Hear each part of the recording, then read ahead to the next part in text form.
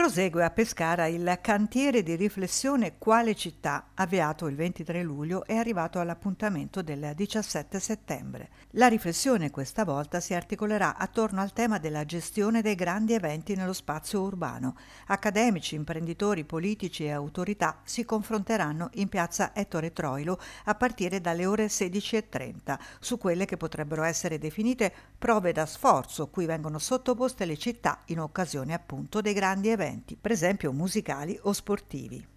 Si tratterà di una prima declinazione tematica della Carta di Pescara sulla città. Le conclusioni al termine dell'incontro saranno tratte dal senatore Luciano D'Alfonso. Parteciperanno tra gli altri il ministro dell'Interno Luciana Lamorgese, il sindaco di Torino Chiara Appendino, il cardinale Mauro Gambetti e il presidente del CONI Giovanni Malagò. Al termine alle 21 da Piazza Troilo ci si sposterà all'Arena del Mare per il concerto di Orietta Berti. L'evento che faremo venerdì eh, 17 alle 16.30 è in Piazza Ettore Troilo, che è la piazza che sta di fronte al Tribunale di Pescara e eh, rientra in questo filone che abbiamo avviato il 23 luglio con quale città, cioè ragionare le città come grande organismo da cui ripartire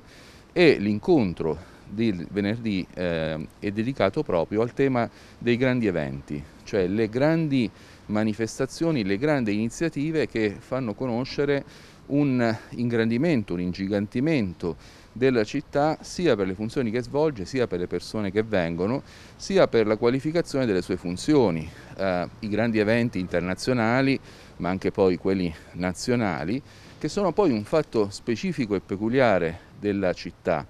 che è il motivo per cui la città in quel giorno si fa mondo o si fa, si fa nazione. Certo questa che è una grande opportunità per una città, basti solo pensare a cosa è accaduto a Torino dopo le Olimpiadi del 2006, è anche un momento di rischio, un momento di sforzo per la città, è un momento in cui emergono criticità per il numero delle persone che arrivano, per il numero dei servizi che vanno erogati, per i rischi connessi sia in questo momento alle questioni epidemiologiche sia ai rischi di ordine pubblico, di sicurezza, eh, della qualità della vita dei cittadini che sono nelle città. Sarà un grande pomeriggio di, di lavoro e siamo convinti che produrrà dei grandi risultati.